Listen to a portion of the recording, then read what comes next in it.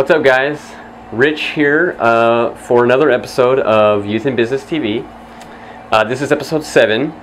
Um, in this episode, I'm going to talk about negotiating tactics. Um, that probably sounds pretty interesting to you guys, and, uh, and it is to me too, and I'll tell you why. Uh, so before I get started with the episode, uh, I just want to do one little shout out. Um, I, uh, I last night I created a uh, Facebook page for Youth in Business TV, and um, uh, you know, Youth in Business TV is a YouTube series, but uh, I did create the Facebook page just to try and broaden you know the audience of the show. The reason I did I never made one before is because um, I was real reluctant to make one because uh, I have so many Facebook pages already. I have my business page. Uh, I have my photography uh, gig page. Um, I have, you know, I have another uh, page that I manage. Uh, I have two other pages uh, aside from that that I manage um, for other people. so I just have a lot of a lot of pages there. So, but I created one. So here is the here's the address. Okay, it's right down there. So go ahead, check that out. Click like, you know, click uh, see updates and, and uh, interact. You know, email that, and uh, and we'll we'll get it going. Okay, so uh, today, like I said, we're going to talk about uh, negotiating tactics. Um, so the reason I'm doing this episode, and when I first started business, I never thought, well, I never thought I was going to do a, a, series on uh, on YouTube about it, but I never would have thought that negotiating tactics were important in business. Okay and they are. I mean, I'm sure a lot of you guys are thinking, wow, that's the first thing I want to learn about. Um, the reason I never thought negotiating was important was because I thought that the world was a very honest place. I thought, you know, uh, doing my business, I would just go to people's houses, give them estimates on their the work that they wanted, uh, write them the, you know, quote, the total. They'd say, okay, or no thank you, and then uh, we would do the work and get it done, and they would pay on time. Um, that is not true. I found that to be completely not true. I don't want to say that reality is the opposite of that, but it's just that it's not that simple every time, okay? Uh, so there's pretty much two kinds of negotiating uh, when it comes to business, okay? There is, uh, you know, buying and selling. So when you negotiate excuse me, uh, when when you're in business, you have to buy, you know, items, things, services, uh, equipment, and so there is a process of negotiating in that. And then the big part, which I'm going to focus mostly on in this episode, is the selling part. So if you sell, you know, items, maybe you sell cell phones, maybe purses, I don't know, um, and then maybe um, a lot of you are probably service professionals. So you're giving your services for uh, for sale as a business. That's where you don't negotiate, but the client negotiates. Okay, and that's that one really gets tricky. So we're going to get into that. Um, so as far as negotiating comes to when you're buying, like I said, you're going to be buying uh, you're going to be buying items. Maybe you're buying tools. Maybe you're buying equipment. You know, maybe you're buying cars. You're buying vehicles. I don't know. Uh, you know, maybe you're buying, you know, like I say, equipment for a kitchen if you're going to do a restaurant or if you're going to do like a taco stand or something. I don't know. Um, you know, those are all things that you need to buy. So, you know, it's possible to negotiate in all of those transactions. Not all of them. I mean, if you buy something new and let's say you're going to, you know, well, let's say you're gonna you're gonna do your home office. Okay, I mean, no matter what business you do, you're probably gonna have a home office or an office in general. So you go to Staples, you buy all the stuff, you stock up, come to the counter, and you put it down and you say, you know, would you take a hundred bucks for it? You know, no. Okay, you can't negotiate like that. But um, a lot of the things that you do buy, you know, you can negotiate. So for example, I have a wood shop, so I have a lot of different tools in there. Um, a lot of people think that when you when you start a business, you have to take a loan out. You know, you have to uh, go and buy the newest you know, just most up to date, you know, brand spanking new off the showroom floor items uh, uh, and, and, stuff. Okay, you don't. Um, a lot of people buy stuff that's used. A lot of people go on Craigslist, uh, eBay. You know, if you're going to do photography, maybe you want to get a second camera. Maybe you have a camera that you've had since you were in high school, and now you want to get into it full time, so you want to have a second, you know, camera body. Well, you know, you don't have to go out and buy the newest one from Best Buy You can check YouTube. Uh, you can check uh, uh, eBay, you know, or Craigslist. See what's out there. Um, so all those kinds of things you can negotiate. You know. Uh, let's see. So now you're probably wondering how to you how do you negotiate? Like how would you go about negotiating? And some of you, I don't need to tell that because you guys are natural born, you know, negotiators. Um, but if you're not very familiar with it, basically you just have to have confidence. Okay, you just have to be, you know, uh, you know, headstrong. You have to know what it is you want. You have to just, just like I said, be confident. Um, when you negotiate, you, you just throw the number out. Hey, would you take this? If they say no, then you you know you kind of give them reasons why they should give it to you for that price. You know, oh, I came all the way here from you know Stockton, and it, you know it's like a two-hour drive, and I'm totally out. You know, all that gas. You know, I would just, I really love to work with you. You know, um, I'd really, you know, I, I, really appreciate all that you do, and blah blah blah. And you know, if you could give me a great deal, I would be so grateful for you. You know, and and stuff like that. So, so that's that's how you negotiate. Um, one thing that's funny. Do any of you guys watch the History Channel? Okay, if you do, uh, I do. And so the shows I like are um, American Pickers, uh, Pawn Stars, and American Restoration. Now, if you've ever seen an episode of Pawn Stars, you will learn how to negotiate. Okay, those guys, what they do is they bring people on you know, the show, and they say, "Oh, look at that great antique item," blah blah blah, you know, and they totally talk up the item, and they're your friend, and oh, that's so, you know, oh, I had one too when I was a kid, blah blah. Okay, and then what do they do? Bam, straight face. I'll give you fifty dollars for it, and she wants two hundred. You know, um, but they but they stand tall, you know, and they and they hold their ground and they just they're just the utmost they're intimidators but they're also you know the most confident people you'll ever see so, um, so if you've never seen an episode of Pawn Stars, watch that show because honestly, that's where I learned a lot of my negotiating tactics. And it's not really tactics. I mean, it's not really you know, it's not really what you say. It's just how you say it. You know, so so that's something I necessarily can't teach you. Um, so uh, you know, I hope you weren't hoping that I would teach you that in this episode. I'm just going to give you guys you know the, the, the, the, essentials as far as you know what to look out for what to do and stuff like that so um, so yes so check that that show out if you if you want to know how to get some really good uh, rock solid negotiating skills um, another thing as far as buying for your business no matter what you get into no matter what you're offering uh, as a business buying in bulk always helps okay so for my example uh, i do construction I buy a lot of closet materials, okay, shelving and whatnot. If I buy, I used to go out and buy as much as like my truck could fill, uh, my truck could hold. You know, I'd fill up the bed of my truck, give the guy 300 bucks, whatever.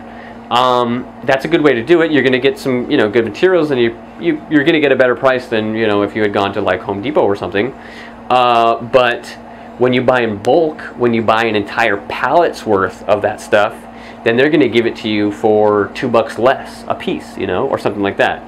Um, it does make a big difference. So that's what I've been doing is I've been, uh, you know, saving up and, and actually just buying as much at one time as I can. Um, and most of the time, if you buy in bulk like that, you can negotiate with them. You know, they're gonna they have their set rates those those types of places, but if you buy a big quantity, you can go, well, maybe would you sell it to me for six dollars a sheet as opposed to you know seven fifty? You know, I don't know. You just throw it out there, um, see what happens. Um, so so buying in bulk is definitely a good thing. Let's see. Uh, buying stuff used again. Again, I'm going to say it. Buying stuff used is okay. Now, don't buy crap. Don't buy stuff that's you know 30 years old and hardly works and and doesn't you know isn't going to be effective for you. You have to buy stuff that that works. But a lot of people, in, in, you know, and no matter what they do, they think, oh, I have to just buy the newest. I just have to buy, you know, that's just how they are. Maybe they have money, so they're just used to buying new. Buying used is a great way to to accumulate, uh, you know, the the furnishings that your business needs. And those are the things you're going to get for half the price of a new one. You know, you can negotiate that. You can say, hey, you know, I'll give you you know 300 bucks for that thing as opposed to 600 and that's what it is new you know Um, so buying used is, is really, it, it can be good. Okay, uh, so I'm going to give you guys a tactic that I use for Craigslist. Now, I talked about buying things used on Craigslist. Um, I love Craigslist. I love to buy stuff on Craigslist. Uh, I advertise on Craigslist, so I'm just on there all the time. So, no matter what it is I'm buying, this is my automatic, uh, you know, uh, approach to buying something and selling. And I'll tell you how in a minute. I'll call the guy up hey, how's it going? I saw your blank. Um, I see you have it for $200. Let's just say it was 200 My, uh, The first thing I say, I'm really interested in buying that. Would you take 150 Now, most of the time, people on Craigslist, they want to sell stuff, okay? So when they're when they have a posting, this is not what they typically do. Typically, they don't post something and go, "I need to get $300 for that." And I will not take anything less than that no. Most of the time, it's something they don't need, they don't use, they need to get rid of. So instead of throwing it away and getting nothing, they put it on Craigslist. So what, so what is their mindset? I want to get rid of it. So you should go in saying, well, I see you have it for X, but I would give you this. And nine times out of ten, people will say right over the phone, yep, that's okay, I'll take that. Because they want to get rid of their stuff, okay? That's the beauty of it. So bam, okay, would you take 150? Yes, I would. Oh, okay, great. Will you come and drop it off at my business or my shop or my house or whatever? Um, most of the time, as you guys may or may not know, when you buy on Craigslist, typically the rule is if you're buying, you go and pick it up. If you're selling, they come to you. Uh, but I, I, I don't do that. I try and get them to bring it to me. Why? Because I don't have to use the gas, you know? Uh, it's just another way for me to, uh, you know, uh, uh, get, get, get the thing for a little bit less or, you know, it's a little easier on me.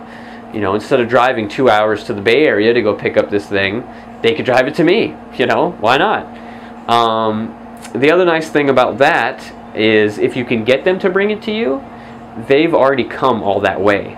So if you're standing there and you're like, oh my gosh, you know, this isn't what I expected, the pictures don't show what it is at all you and you know and you say you know i'm not going to give you 150 for this i'd give you 50 bucks you're luck you're lucky to get that you know the guy he doesn't have a real leg to stand on because he's already at your house if you had gone to his house then he would say well 50 bucks you know screw you get out of here get off my property. Well guess what? He's in your he's in your field. So either you kick him out or you say well this is what i'll give you you know?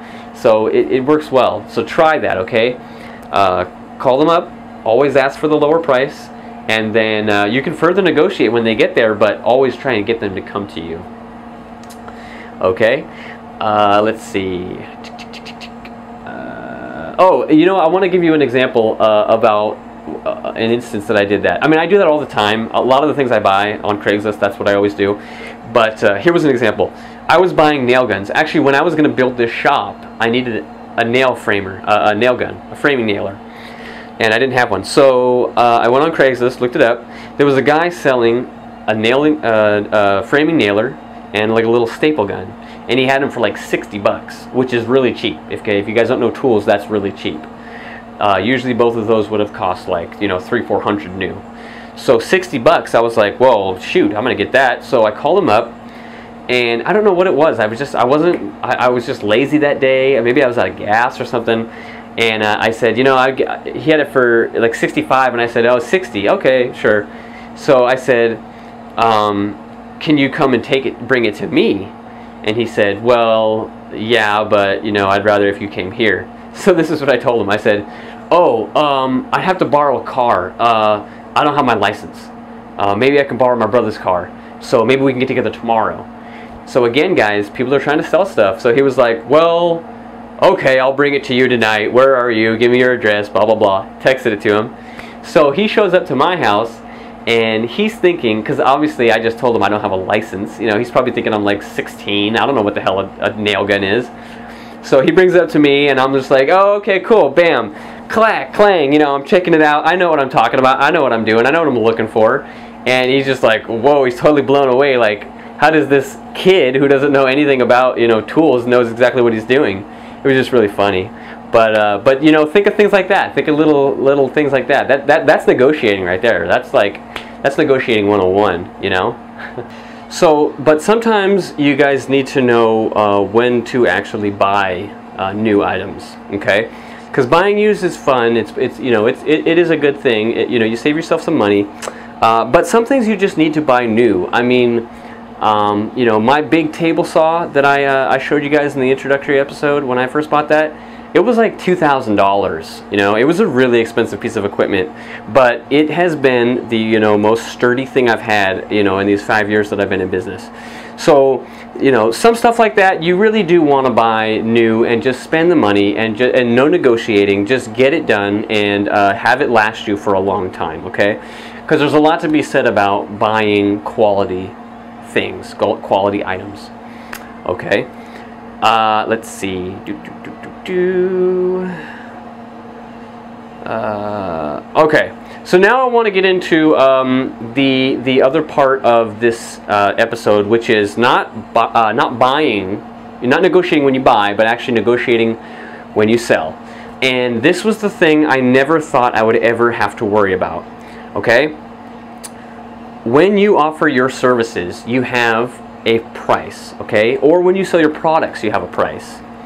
Uh, you have a price in mind. Of course, you have a price you want to get, and then you have, you know, what people will pay. Um, so, you know, what you have in mind should be pretty realistic.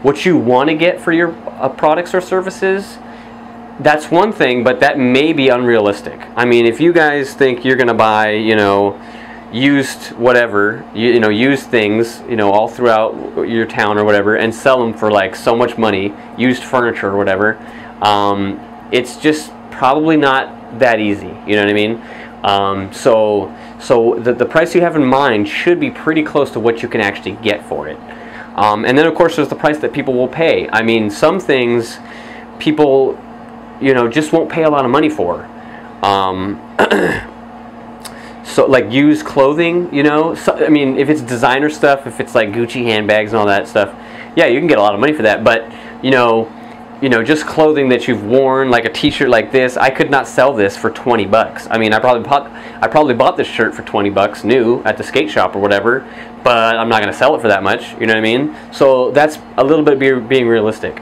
Um, I'm kind of getting off subject here. The point is, you guys are offering your services and products for a certain price. And what are your customers going to do? They're going to try and get you to sell it for less than that. And this is what drives me crazy. Um, it always has. When I first, like I said, when I first got started in business, I thought it was like show up, give a you know give the family an estimate, tell them this is the price. They either say yes, we'll get it done, or no, we'll get it done somewhere else, and then you do the work. Okay it doesn't work like that. A lot of the times, they will try and, and, and do things to get you to give them a better price. And so, so all these topics I'm talking about on this episode, guys, they're literally things that I learned from my clients, from my customers okay? I was the innocent kid. I was like the, the newborn baby. Oh i don't know anything about the world you know and i'm so innocent.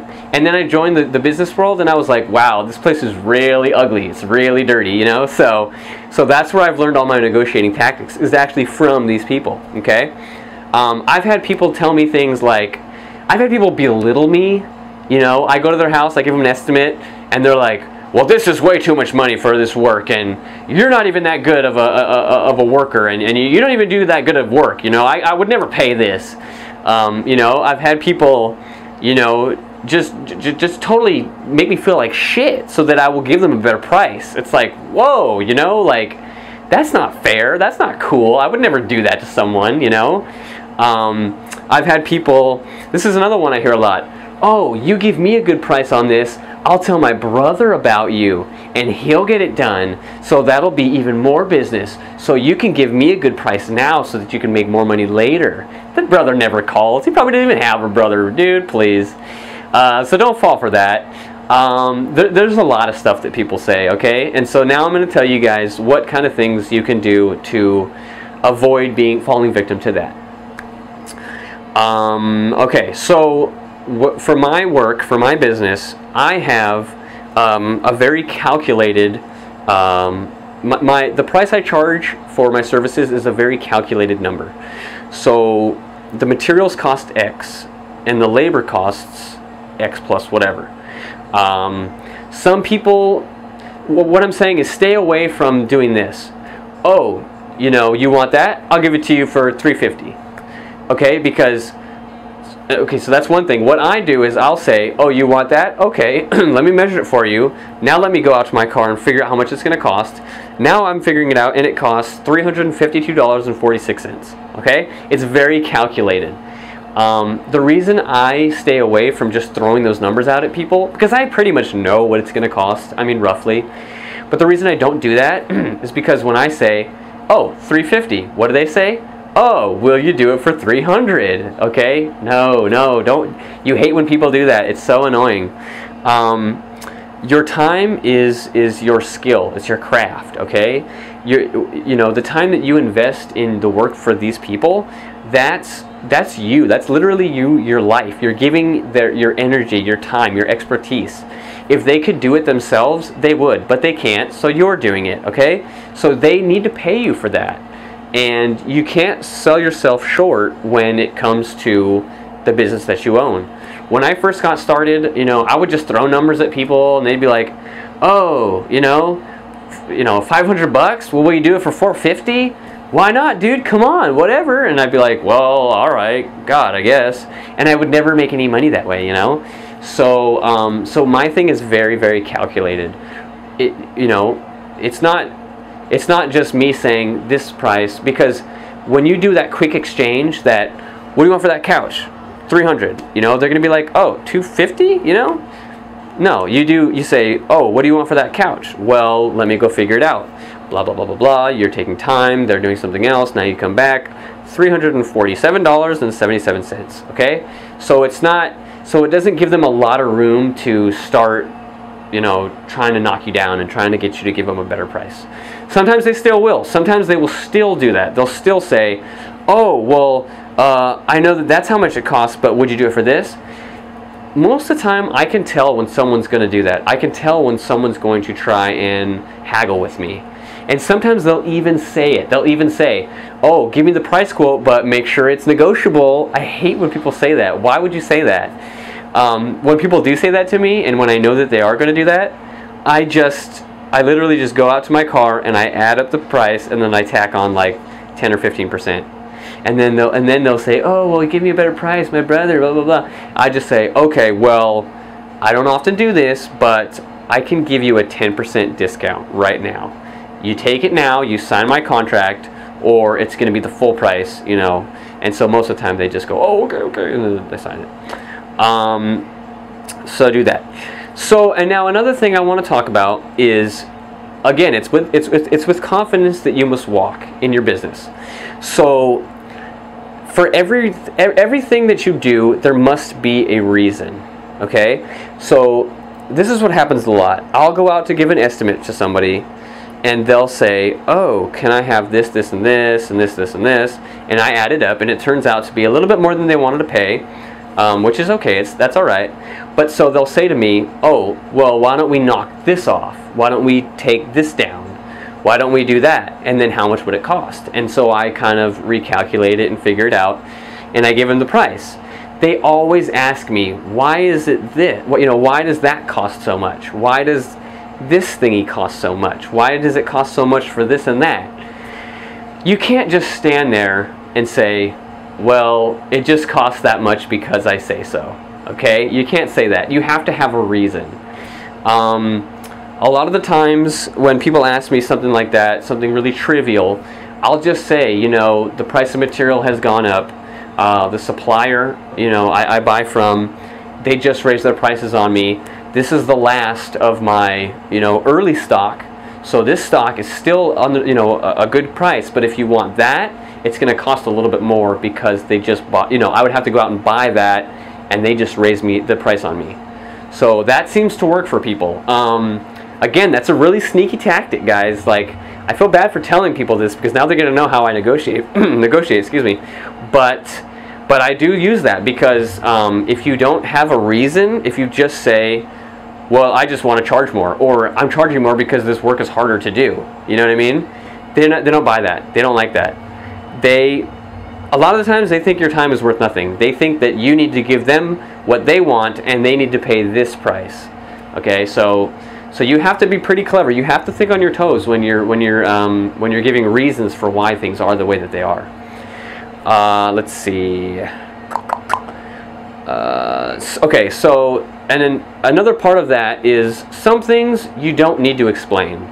Like, for example, there, I offer two different types of drawers in my closet organizers. Okay, one is an expensive type and one is not. Um, one costs a lot more, one is a bit cheaper. And here's the big difference for me. One is very hard to set up. It's very complex. One is just bam, bam, bam, it's done. I put it in. So when people ask me, you know, can I have the difference in price between those drawers? I'll give it to them, but, you know, and then they'll ask me, why does this one cost way more? The reason is because I'm spending all that time on putting that stupid thing together and installing it in your house. This one, I just go click, click, click, and it's done. So it's cheap, you know, but I don't need to explain that to you, uh, you know, you being the customer. I don't need to explain that to the customer, you know. They're not going to understand. Well, it's just putting it together, isn't it? You know, that's what they all say. They always say something like that. I mean, no, it's not just putting it together. It's my time, dude. Like, I got to go out and buy these things. They're way expensive.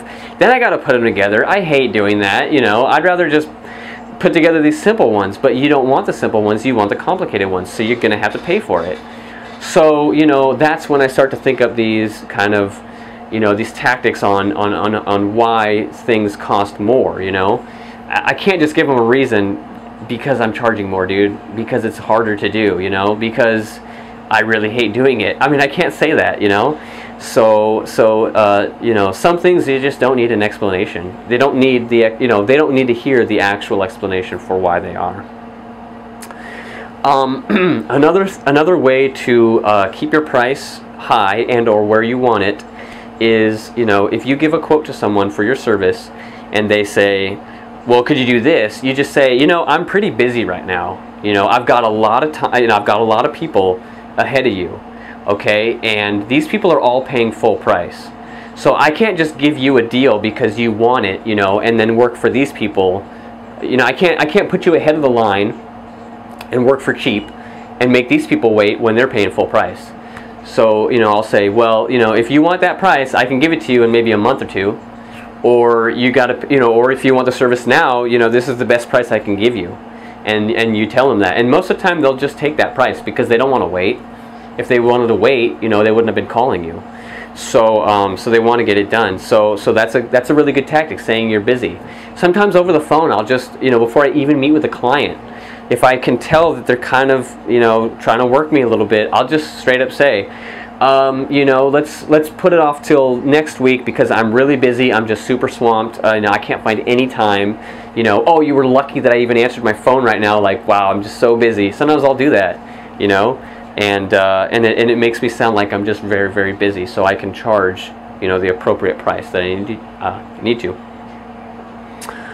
Um, let's see, what's another point I wanted to make? Well, basically, sometimes you do need you know sometimes you do need the money.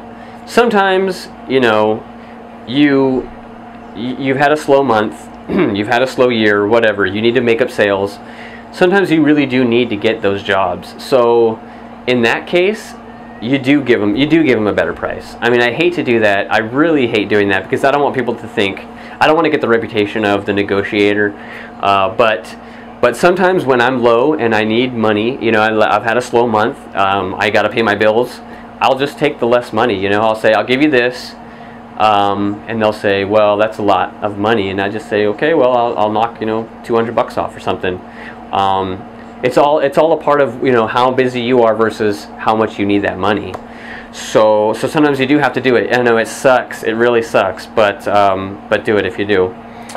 Okay, and uh, and then my last point is you guys when you get a business or maybe you are now in business. Okay, you're in this club that we call the Business Owners Club. Okay, you're in the club. I'm in the club, and as members of this club we have a mutual respect for each other. So, um, so I respect people that have businesses, and I never try and cheat a business owner because I would never want them to try and cheat me. Okay, the the clients they're not in our club. They try and cheat us all the time. You know, we give them excuses. We give them we, we use tactics on them to try and get the prices we want. But you know, as far as business owners go, you know, we can't cheat each other. Okay, so just an example. You know, I went to a printing place the other day and uh, I said, you know, how much would it be for so and so flyers? You know, so many hundred flyers, you know, size, color, blah blah blah, double sided. And he said, okay, it would be, you know, however much money it was. And uh, and I was just comparing prices. So in my mind, I was thinking like, okay, I went to my regular printers. They said this. He says this. You know, I went to that Kinko's, and they were like, okay, wow, that's a lot of money. So in my mind, I was thinking, and he said to me, you know, I can't really give you a better price than that, man. Like he, he thought I was trying to think up something to say to him to give him a better price. And he, you know, he was just like, no, you know, I, that's the best I can do, dude. Like, my boss is on my ass. You know, I can't give out any more deals. And I was like, whoa, man, like, dude, I'm totally with you. You know, I'm not trying to get a better price out of you. I'm not trying to cheat you. You know, you have your overhead. You know, you have your business. You have your expenses. I respect that, dude. Like, I'm not here to try and, you know, and I wasn't. I wasn't trying to get a better price you know i'm going to actually get that so i i was i paid full price for the thing you know? Um, so that's what i'm saying. Respect a business the way you would expect people to respect your business okay? You have you pay for things you know you sell things. The difference is you know the money you make is the difference in that price. So when people try and get you to sell things for either the price that you buy them or less you don't make any money. You lose money. So so so don't do that to don't do that to other businesses okay? Like I said we're in this club and uh, and we all respect each other. We're all in it for each other even if it's our competition you know? We want to help them out because you know they make the world a better place uh, the business world a better place okay? So this is Youth in Business TV this is episode 7 uh, I know it was long. Um, I, I covered a lot of the topics I wanted to talk about um, again, guys, if you want to be featured on the series, if you want to have an interview, let me know. Hit me up. Um, we'll, we can do in uh, you know live in person, Skype. We can just do questions. We can just do whatever. So thanks for watching. Keep subscribing. Keep watching. Keep viewing. Check out the Facebook, and uh, we'll have some series. I mean, we'll have some uh, episodes coming up real soon for you guys. Okay.